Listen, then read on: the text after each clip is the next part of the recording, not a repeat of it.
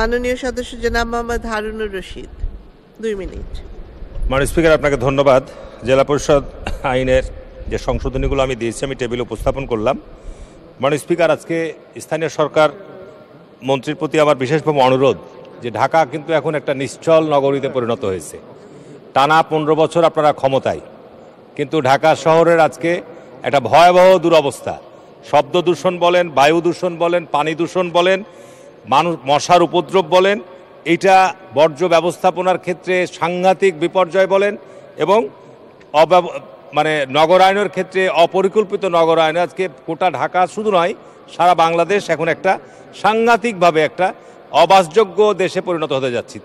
সরকার শুধু মেগা প্রকল্পের দিকে আমাদের দৃষ্টিপাত করছেন। মাননীয় প্রধানমন্ত্রী বলছেন যে আজকে যারা দেখতে পায় না, চোখে চশমা দিতে বলছেন। আমরা চোখে চশমা দিচ্ছি, মাননীয় স্পিকার।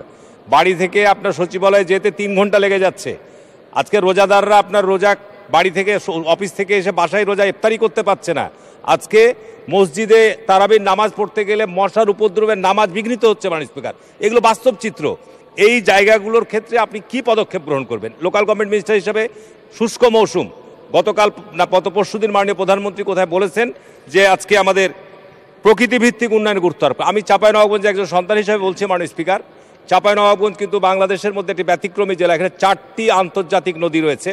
তার মধ্যে পদ্মা, মহানন্দা, পাগলা এবং পাগলা এবং মহানন্দা নদী মাননীয় প্রধানমন্ত্রী আপনি খনন করে দিয়েছেন।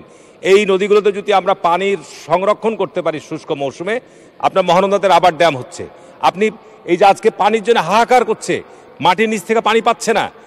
আপনার আর্সেনিকের প্রভাব আপনি নদী থেকে ওয়াটার ট্রিটমেন্ট প্ল্যান করে এই গোটা জেলা দিয়ে পানি দিতে পারবেন।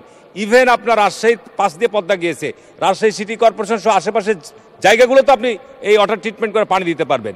আজকে সারফেস ওয়াটারের ব্যবহার বাড়াতে হবে বর্ষার পানির ব্যবহার বাড়াতে হবে।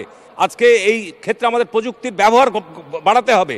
এই জায়গাগুলোর প্রতি দৃষ্টি দেন। এই কথাগুলো বললে আপনারা বলবেন যে বিএনপি ক্ষমতায় ছিল, তখন কি করেছে? আরে বিএনপি তো ছিল বিশ বছর আগে ক্ষমতায়। আপনার টানা পনেরো বছর ক্ষমতায়। আপনাদের পরিকল্পনা কি? আজকে ঢাকার নগরী যে আজকে বসবাসের অনুপযুক্ত হয়ে গেছে, বর্জ্য ব্যবস্থাপনা বলেন, শব্দ দূষণ বলেন, বায়ু দূষণ বলেন, এই ক্ষেত্রে কি বিএনপির থেকে এখন আমরা উন্নতি করেছি? না বিএনপির থেকে আরও অবনতি ঘটেছে? এই জায়গাগুলো আপনারা বলেন, এই জায়গাগুলো যদি আমরা সু- আপনারা সুসংবাদ দিতে পারেন যে আমরা আগামী বছরই আপনাকে সুসংবাদ দিচ্ছি। মেট্রো রেল বাস্তবায়ন হয়ে আমি চ্যালেঞ্জ দিয়ে বলছি মাননীয় স্পিকার ঢাকা মহানগরীর যানজট আপনি দূর করতে পারবেন না। গণপরিবহন ব্যবস্থায় আপনাকে আধুনিকায়ন আনতে হবে। এই জায়গাগুলোর প্রতি আমি অ্যাটেনশন দেওয়ার জন্য মাননীয় স্পিকার আপনার মাধ্যমে আমি মাননীয় স্থানীয় সরকার মন্ত্রীকে অনুরোধ করব। আর আমার যে দাবিটি ছিল, অল্প টাকা মাননীয় স্পিকার এই মা- মাছ বাজারটি জেলা মাছ বাজারটির কারণে আমার গোটা পরিবেশ নষ্ট হচ্ছে।